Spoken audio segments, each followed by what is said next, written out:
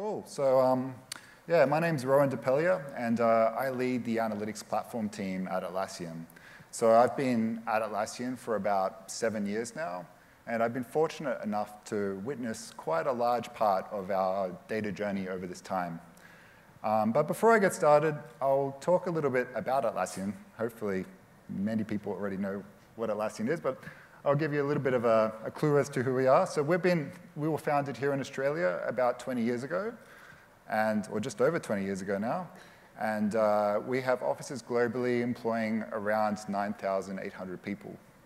And uh, we're serious about creating products and practices that encourage uh, open work and collaboration for all teams.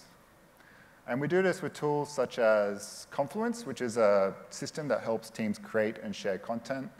Uh, Bitbucket, a tool for helping teams plan projects, collaborate on code, and test and deploy. And uh, Jira, one of our flagship products used for bug tracking, issue tracking, and project management.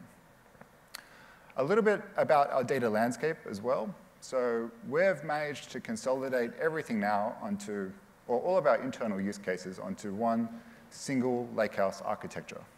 And we operate at, now at a petabyte scale, growing at a crazy rate, uh, a, a terabytes a day. Um, uh, most of Atlassians, to some extent, use our platform. So, you know, we're a large company, but I feel like basically every single organization, to some extent, uses the platform. And finally, we are AWS backed. So we use things like Kinesis for data ingestion. We use S3 for storing all of our data. And we use uh, EC2 for our compute so the Lakehouse, like I mentioned, is used by all parts of the company. It's basically powering the business. And like, I'll give you some examples. In one extreme, we have uh, data analysts and our support team using the Lakehouse to uh, measure our product health through the number of incidents and support contacts that we get, and then using that to drive priority as to what kind of things we focus on in uh, product development.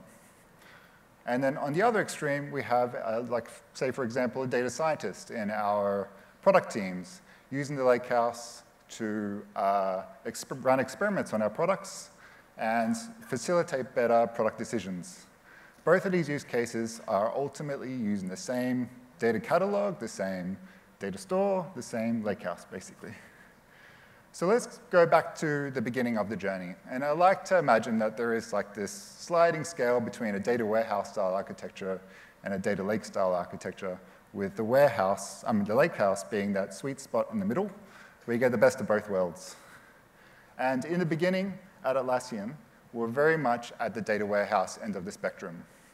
In fact, we had two data warehouses. We had a Postgres data warehouse that was used as an enterprise data warehouse, uh, and it was here that we did all of our business intelligence and dashboarding, and uh, like a lot of our internal enterprisey teams, like our sales, our marketing, our, uh, I don't know, support, we're using this platform to, uh, to drive the business ultimately. On the other end, we had a Redshift data warehouse, and that was used for research and development. And um, it was here that we shipped all of our clickstream analytics, our behavioral logs, and uh, we use things like notebooks and SQL Analytics to better understand the user journey and our user patterns through our products. Unfortunately, this architecture came with challenges for us. For one thing, we noticed that a lot of our users were copying data from one, lake, from one data warehouse to another, and these copies were very brittle and added uh, delays to downstream pipelines and analysis. We also faced several other problems. Uh, for example, we had differing syntaxes between the two. So if an analyst was working on one and they wanted to try and do something similar on the other, they would have a lot of trouble trying to convert queries between those two things. Secondly, there was concurrency issues, and Atlassian at this period of time was in a period of hypergrowth. Um, and so our volume of queries was growing tremendously. And I remember back then, I think we just migrated to AWS, and we were upgrading the RDS instances on our Postgres database every, I think, like month, basically. It was ridiculous. and lastly, uh, uh, we, there, there, was like this significant cost to pulling data between the two data warehouses. There was a lot of use cases where people were trying to pull data from one thing to another, and if they couldn't do it, uh, because the engineering tax was just really high, and so a lot of analysis just never really actually happened. So it was just too high to do that, that work. So it was at this point back in, uh, back in 2018, that we, or 2016, that we decided to reevaluate our architecture and what we were really trying to achieve out, uh, for, for Atlassian for, from a data perspective. We knew that data volumes were going to grow exponentially, and we wanted to uh, build something that was going to last for a long time with Atlassian. So it was also at this point in time, back in 2016, that we saw plenty of uh, um, blogged about, discussed about um, uh, uh, topics around uh, building out S3 data, data lakes. I think uh, Netflix uh, came up with a really good example of this back then as well. Um, and so following these examples, we decided to take the leap and combine both of our data warehouses into one data lake style architecture. So uh, what we essentially built was an S3-based data lake. Uh, we used Hive and Presto on EC2 and EMR, and we tried to, and to serve up the various use cases across the company. Uh, the beauty of this is now that we had all of our data in one place, that meant that there was a lot less engineering tax uh, and copying data from one place to another to do analysis. So that was a great win for us. Secondly, there was infinite scalability. We now could just keep on throwing data at S3, or we could keep on ex uh, extending the size of our clusters, and we didn't have to really re-architect anything. Unfortunately, this came with some other challenges for us. Uh, performance was not on par with what we had in the data warehouse architecture.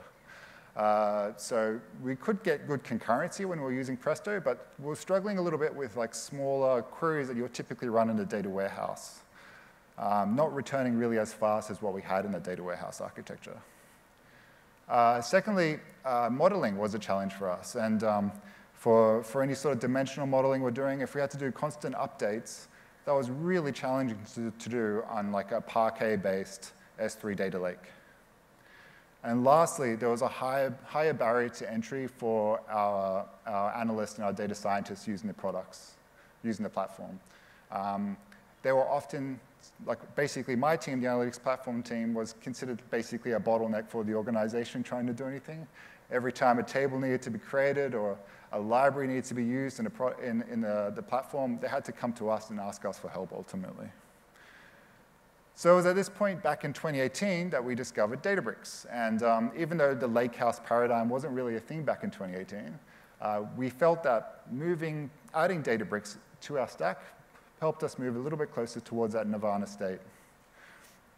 And in the grand scheme of things, not really much changed initially uh, when we added Databricks. So uh, we still are able to use our own S3 buckets, and we're still able to use things like the AWS Glue data catalog uh, to store our table definitions. However, what did change for Databricks, or what did change when we added Databricks was the experience that uh, Databricks added on top of the S3 data lake. So we're now started to get a lot more benefits from that that, that, that ultimately moved us closer to that lakehouse architecture. Uh, what things we could start to see were, for example, we could start to see a higher performance for, for a lot of our queries. And this is thanks in part due to like Databricks' optimized runtimes, but also as a result of some of the, the benefits that came from converting a lot of our Parquet-based tables to Delta, Delta Lake. Um, and so this ultimately meant uh, an improvement in the experience for business intelligence style use cases. And in recent months, we've also been trialing out uh, Databricks SQL um, uh, to see if we can further improve that slice and dice experience for our users. Um, the data lake also allowed us to bring back data, database style uh, statements. So we could finally start doing updates again and merge statements and things like that um, that we couldn't do before in the data lake architecture, but we could do like, you know, well back when we had a data warehouse. So this is, again, like bringing those two worlds together. Um, most unexpectedly for us was that we were no longer seen as a bottleneck for innovation in the company. Uh, less and less teams were approaching us to do anything that uh, they normally would have. They can create their own tables now. They could, we could give them a cluster and they could have complete autonomy over that cluster. And lastly, with Databricks, we are on an open source platform. And the benefit for, that, for us for that is that we don't feel this level of lock-in. We can spin up other compute if we need to. Uh, we could use Flink tomorrow and still use our same Delta Delta Lake files on Flink. Uh, we also get to take advantage of quite a lot of, a lot of the, um, the benefits that come from the open source community around Spark and um, Delta Lake and um, MLflow. There's so much innovation happening even outside of the data, Databricks team.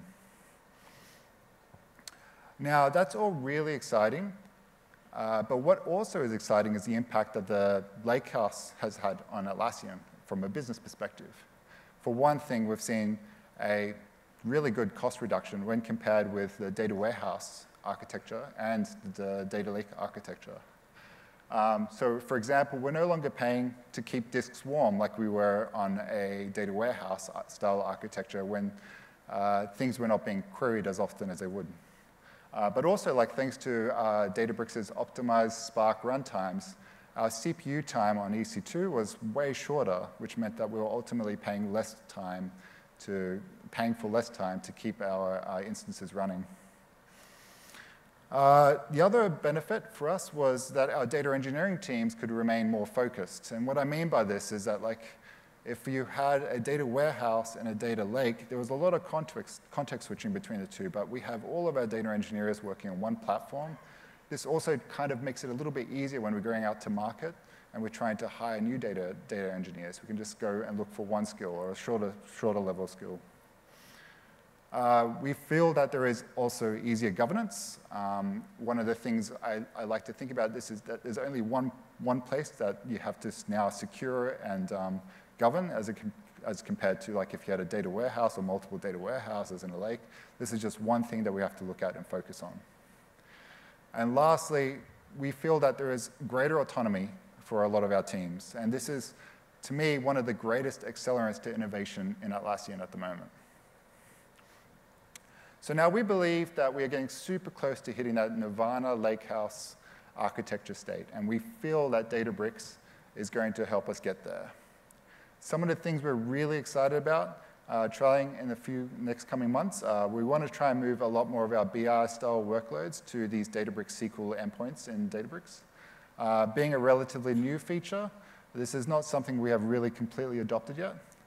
We also want to keep on converting a lot more of our Parquet tables and things like that across to, um, uh, to, to the Delta Lake format to further improve performance and further improve some of those difficult dimensional modeling use cases. And lastly, we want to start looking at how we can use Databricks for more sensitive data use cases. And the launch of the Unity Catalog is something that really excites me because then we can start to do things like better policy management, auditing, lineage, and all of those exciting things.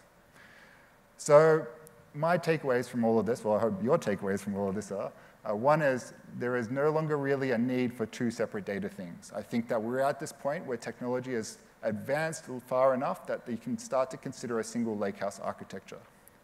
Secondly, I believe that the Databricks platform is, is the best place to, take, uh, uh, to, to go on this journey with because you have, they're already one step ahead and the convergence of data, data, warehouse and lake is really uh, possible with them right now. And lastly, I'm a strong believer in having your foundations in open source and non-proprietary formats. Uh, I think this gives us the ability to not feel so locked in with Databricks if we do decide to change in the future, but also to take advantage of things like, you know, uh, the open source community that's happening out there, things like uh, uh, the changes that are happening in the Rapid Spark community as an example. Uh, some final words before I finish up. Uh, we're always hiring, so you can check out uh, for jobs that um, we're hiring. I had to make a pitch, I'm sorry. Um, and uh, secondly, we have a few other talks happening today. You can check out Lily Lee from Atlassian as, as well as Zek and Revathi, I think at 11.30 today on Destination Lakehouse. Thank you. Uh, I'm passing over to Frank from Databricks. Cheers.